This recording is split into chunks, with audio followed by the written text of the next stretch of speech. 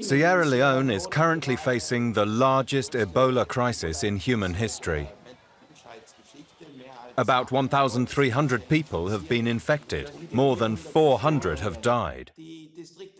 The districts of Kenema and Kailahun have been quarantined. That affects a population of about 700,000 people.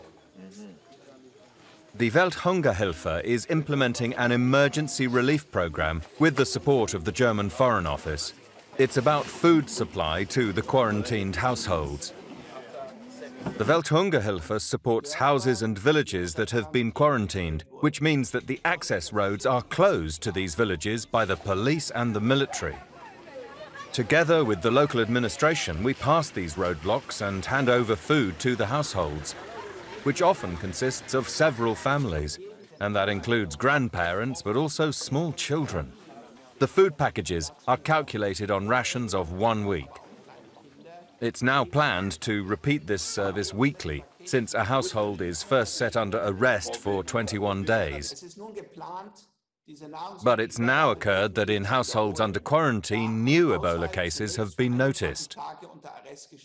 This is partly good because it is a confirmation of the strategy to contain the virus. But on the other hand, it means for the affected population that they have to stay from that date on again 21 days in quarantine. That is why we are preparing to support several houses for a period of 60 to 90 days, if not longer. We expect in Sierra Leone 150,000 starving people during the hunger gap in March to June 2015 as a direct result of the crisis the Welt Welthungerhilfe would like to help to support these people. And we want to provide food so that they can find their way back into their daily lives.